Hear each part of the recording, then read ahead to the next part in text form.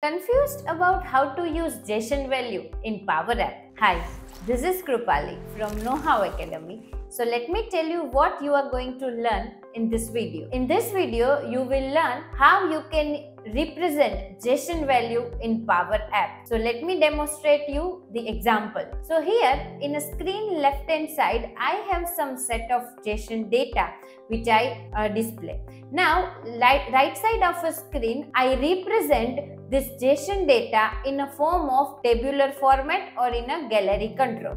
So this JSON information contain name of the person, ID of the person, bio of the person, etc. etc.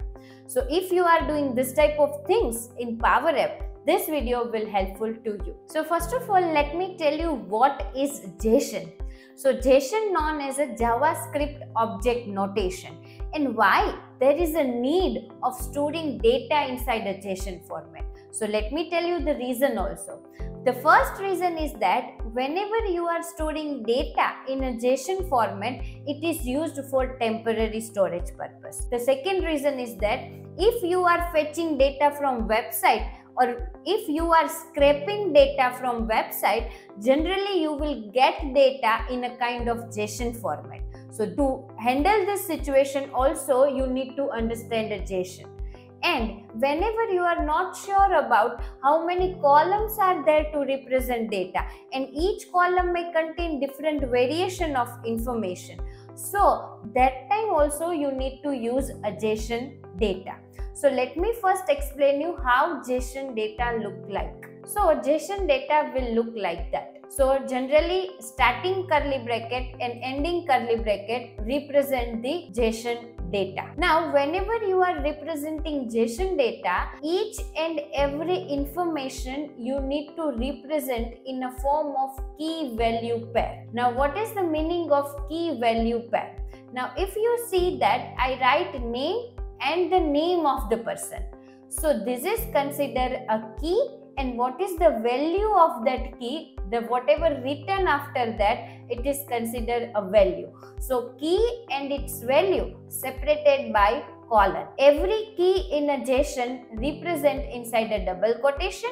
And if you are giving text input or if you are giving text value of that particular key you need to write it inside a double quotation.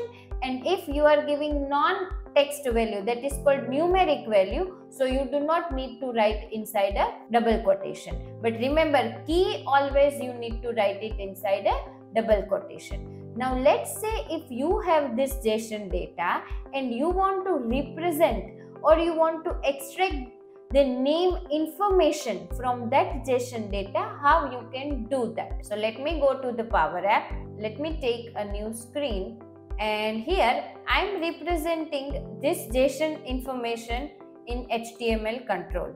You can represent this uh, JSON information inside a label text box anywhere. Okay, but since I want to first show you how JSON data will look and how to interpret, so that should be the question. So let me copy this data.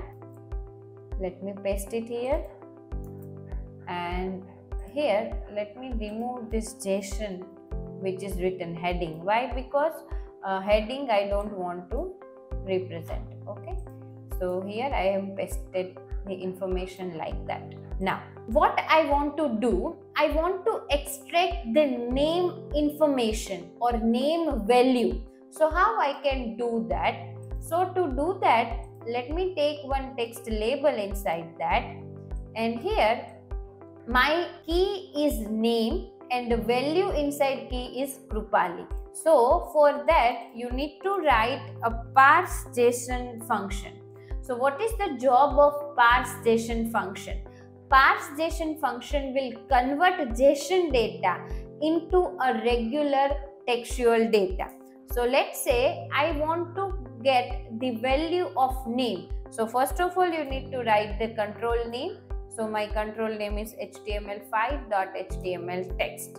Now if you write like this, it will generate an error. Why? Because this JSON contain two key value, name and ID. Since the text box or a label represent only single text value, so you need to write dot and the name of the key.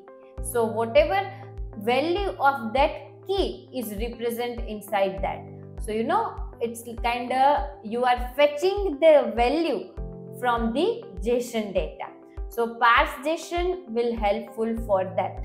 So let me take a second label. Now inside that label, I want to fetch the ID. So you need to write ID and it will fetch the data. Now remember, key value you should write as it is. If it is in a small, you should write it in small. If it is in a capital letter, you should write it capital letter. So I hope you understand how to represent JSON value inside a label. Now, it is not the always situation that you will get one JSON key pair value and you will you need to fetch it. But in real time, multiple JSON values are there. So let me first explain you how to understand multiple JSON value. So let's say here, this is a second information. Now this JSON data is called JSON array.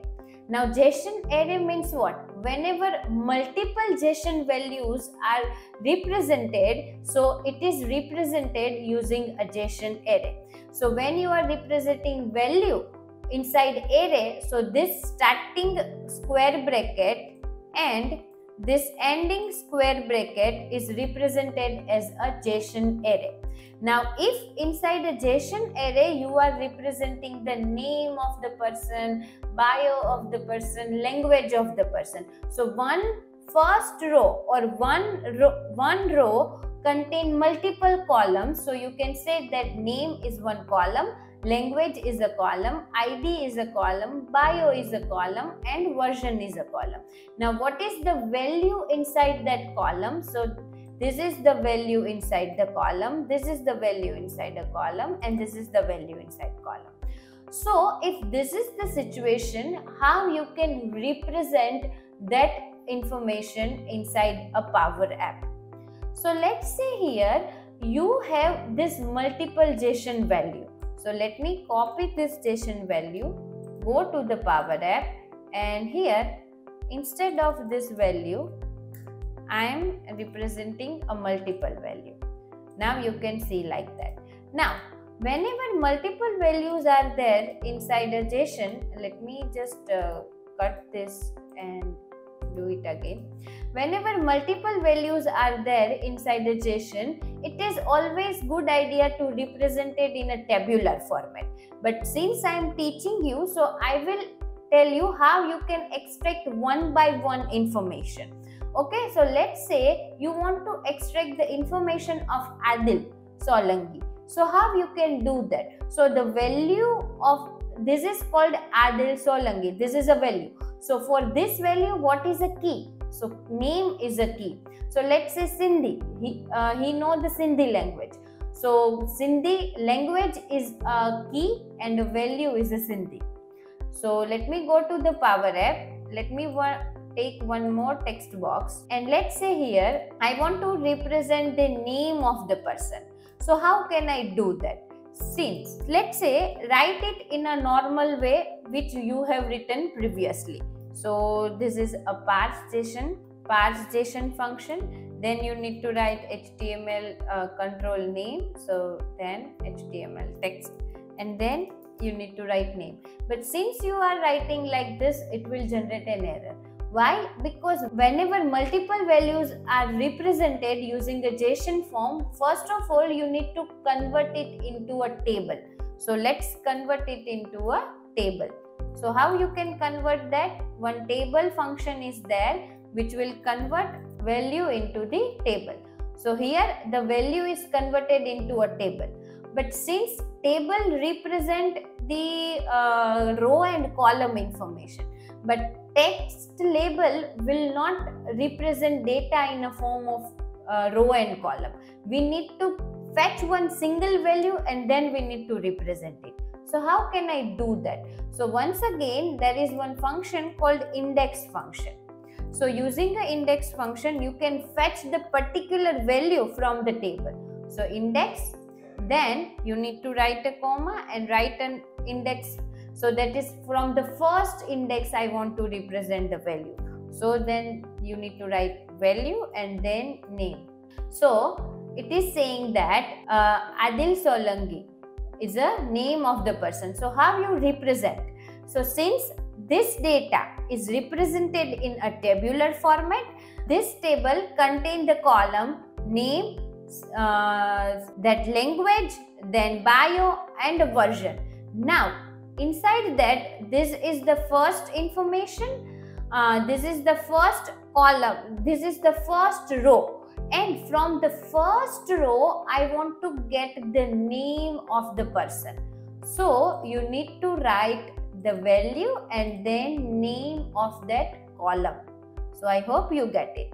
Now let's say i want to display which language that person know. So i need to write the name of the column that is language okay? So uh, you will get information that what language he or she know. Now let's say you want to represent the bio also okay? So you instead of language you need to write bio. So you will get an idea that how you can display information like that. Now let's say you want to display information in a gallery control. So how you can do that? So let me remove this and let's take one new gallery control. Let's say vertical gallery. And here just change the layout first. I want only the text information. And inside the uh, data you need to write the parse JSON function. So let's first write a parse JSON then you need to write the name of a control.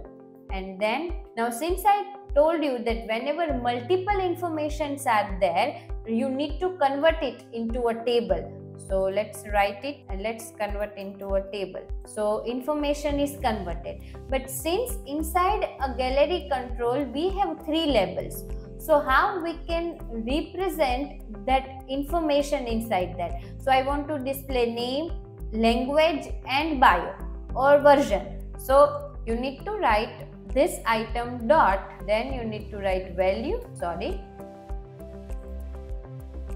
so you need to write this item then after that you need to write value and then you need to write a name. So name will be displayed. Same for the second value dot. Then let's say id okay? So it will represent the id and let's say here third information you want to display version okay? So here automatically version will display here i am not converting or i am not fetching the data using the index. Why? Because gallery control will automatically represent tabular data. So we do not need to fetch the information using the index. I hope you get an idea that how to work with JSON data in Power App. Thank you for choosing KnowHow Academy as a source of your IT knowledge. We are always here to help you to navigate to the tech world. If you have any question, do not feel hesitate to reach out us. Stay curious, keep learning.